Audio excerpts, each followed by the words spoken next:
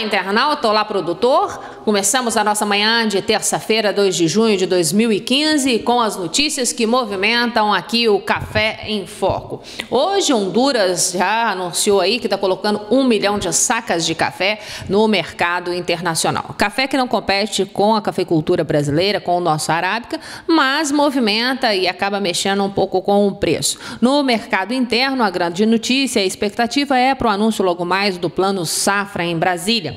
Já ficou decidido, já foi anunciado, nós aqui no Café em Foco, inclusive, já falamos para você, produtor, que o corte foi de 20 bilhões aí no, total do dinheiro destinado aos produtores. Deve ficar na ordem dos 176 bilhões, o valor total destinado aí ao Plano Safra 2015-2016.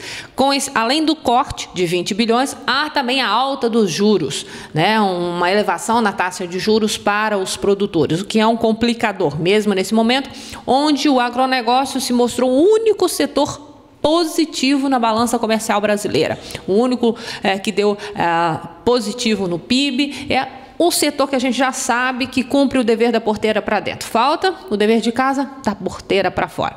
E logo mais também no plano safra deve ser anunciada aí alguma mudança Antigamente, no Pronaf, os produtores que tinham o Pronaf tinham um desconto, tinham um valor menor aí na taxa de juros. Vamos ver se isso continua nesta, nesse anúncio do Plano Safra. Essa é a grande expectativa. Por isso, também fomos conversar com o presidente do Sindicato dos Trabalhadores de Muzambinho para saber um pouquinho mais dessa expectativa. É, vamos então às cotações. Aqui nas praças do sul de Minas, não tivemos cotação em Guaxupé por conta é, do feriado municipal da cidade. Lembrando que na quinta-feira também não tem comercialização no Brasil por conta do feriado de Corpus Christi. Em Guaxupé, então, como nós tivemos, a safra ficou nos 502 reais, o tipo 4.5. Para Poços de Caldas, 445 reais, uma variação de 3.49. Franca, 460, variação de 2.22%. Varginha, 425, está estável o mercado lá em Varginha. Vamos no tipo 6, a bebida dura. É, ficamos sem cotação em Guaxupé, Poços de Caldas, 430, variação de 3.61, boa variação então, como a gente já havia previsto, uma alta nessa segunda-feira. É, a terça-feira deve continuar com esse momento positivo para a cafeicultura. Marília não teve cotação. Lá em Varginha, 420 reais a cotação do tipo 6. Ah, vemos aqui que o índice BMF do, desculpa, o índice CPEA ficou em R$ 411,05, centavos, uma variação positiva de 0,30 ponto. O índice CPEA é o que baliza toda a comercialização na saca de 60 quilos do Arábica. Vamos ver nesse momento como que está lá na BMF, na Bolsa é, Brasileira de café. O contrato para setembro, a saca de 60 quilos está saindo a 161 dólares, mesmo preço comercializado ontem. Já o café de dezembro está 163, 2,29. Vamos ver como está em Nova York neste momento. Uma variação positiva de 0,15%, sendo que o café para setembro está sendo comercializado a 132,20 é, é, libra peso. Ah, o café para dezembro de 2015 a 135, uma variação positiva de 0,20%. O café de março deu uma queda de 0,20, foi para 139. Uh, e o maio para 2016, como nós já havíamos falado ontem, está sendo o contrato mais alto, está sendo comercializado a 141,15. Continua sendo o contrato mais positivo. Isso é um reflexo dessa maturação que está atrasada, ou seja, o café está demorando para amadurecer no pé. E é sobre isso que nós vamos falar com o presidente do sindicato. Nós estivemos lá no Sindicato é, Rural de Muzambinho e falamos com o Kleber Marcon para saber um pouquinho como que está a maturação do café. Lembrando que nesta quarta-feira começa a FEAC, vão ter exposição também de produtos agrícolas. E você, produtor rural, vai conhecer muita novidade, principalmente na parte de maquinário.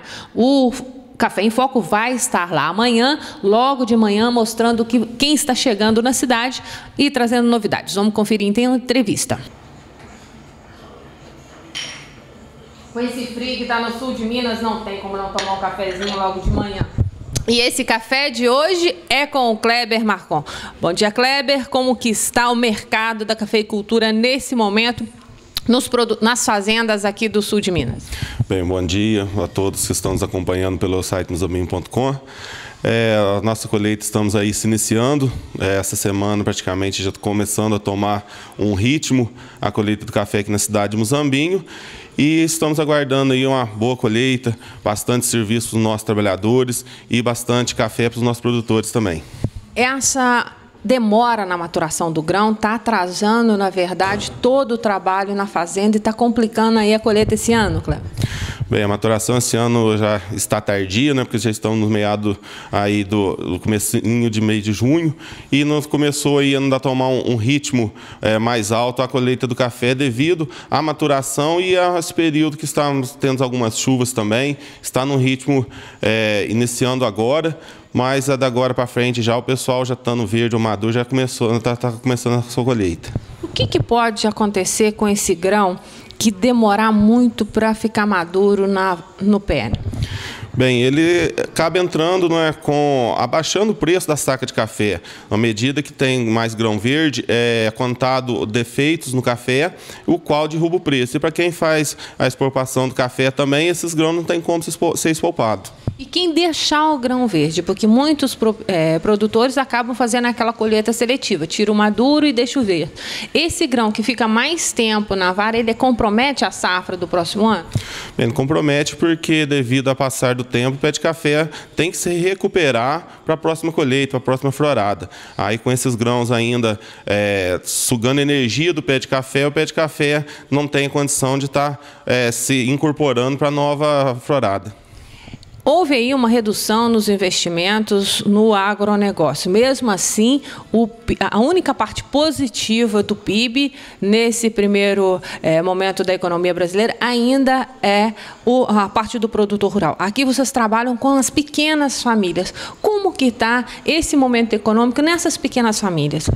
Bem, aqui é como a gente trabalha com a agricultura familiar, a gente tem visto uma desaceleração no, no ganho da, das famílias, no, no consumo, né?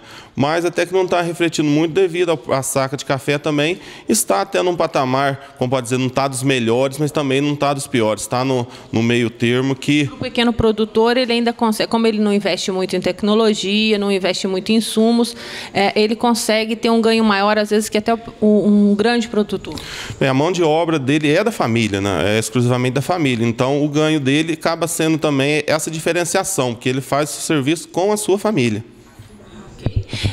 Essa foi a notícia do Café em Foco. Antes de vender, produtor, se informe porque é a única forma de garantir lucro na sua propriedade. E no musambinho.com, as novidades da cidade seguem em alta. A PLR e a Artecom, que oferece agora um, uma qualificação diferente, um serviço diferenciado aqui na cidade, está explicando direitinho aqui no site musambinho.com. Dê uma conferida, vê o que, que essa nova empresa está investindo em Muzambinho e por que ela escolheu a cidade e por que escolher uma empresa com tanta qualificação na área de engenharia na hora de fazer o seu projeto?